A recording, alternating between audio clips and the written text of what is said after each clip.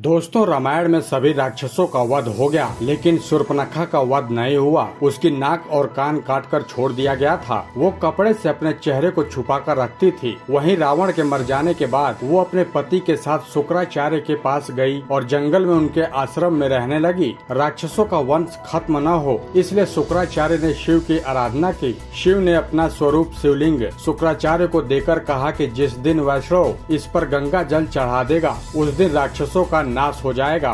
उस आत्मलिंग को शुक्राचार्य ने वैष्णव मतलब हिंदुओं से दूर रेगिस्तान में स्थापित कर दिया, जो कि आज अरब में मक्का मदीना में है। सुर्पनखा, जो कि उस समय चेहरा ढक कर रहती थी, वो परंपरा को उसके बच्चों ने पूरा निभाया। आज भी मुस्लिम औरतें चेहरा ढकी रहती हैं। सुर्पनखा के वंशज आज मुसलमान कहलाते हैं, क्योंकि शुक्राचार्य ने इनको जीवन दान दिया। इसलिए ये शुक्रवार को विशेष महत्व भी देते हैं। बता दे कि दरअसल में इस्लाम कोई धर्म नहीं है, एक मज़हब है, दिनचर्या है। मज़हब का मतलब अपने कबीलों के गिरोह को बढ़ाना। ये बात सब जानते हैं कि मोहम्मदी मूल रूप से अरबवासी हैं। अरब देशों में सिर्फ़ रेगिस्तान पाया जाता है। वहाँ जंगल नहीं है, पेड़ नहीं है। इसलिए वहाँ मरने के बाद जलाने के लिए लकड़ी न होने के कारण ज़मीन में दफन कर दिया जाता था। रेगिस्तान में हरियाली नहीं होती। ऐसे में रेगिस्तान में हरा चटक रंग देखकर इंसान चला आता जो कि सूचक का काम करता था। अरब देशों में लोग रेगिस्तान में तेज धूप में सफ़र करते थे,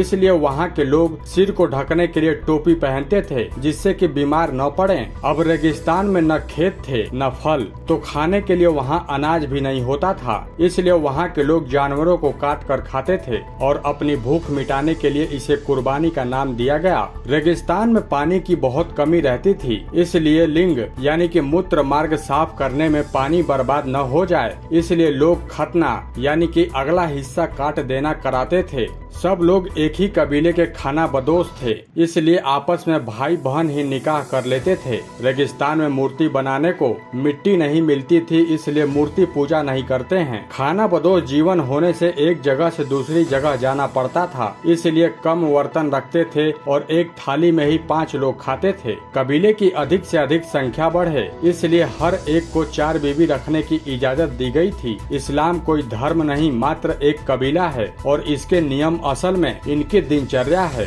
बता दें कि अजमेर के ख्वाजा मोइनुद्दीन चिश्ती को 90 लाख हिंदुओं को इस्लाम में लाने का गौरव प्राप्त है। मोइनुद्दीन चिश्ती ने ही मोहम्मद गोरी को भारत लूटने के लिए उकसाया और आमंत्रित किया था। तो दोस्तों, अगर आप लोगों को हमारी ये जानकारी अच्छी लगी हो तो इस वीडियो को लाइक और शेयर ज़रूर कीजिएगा, ताकि आपके करीबी लोगों को भी इस्लाम धर्म की सच्चाई के बारे में पता लग सके। और आप लोग इस इस्लाम धर्म की सच्चाई के बारे में क्या कहना चाहते हैं? आप लोगों की राय क्या है? आप लोग हमें कमेंट्स करके ज़रूर बताएँ। तो दोस्तों, ऐसे ही और भी इंटरेस्टिंग जानकारी पाने के लिए आप हमारे चैनल को सब्सक्राइब ज़रूर करें।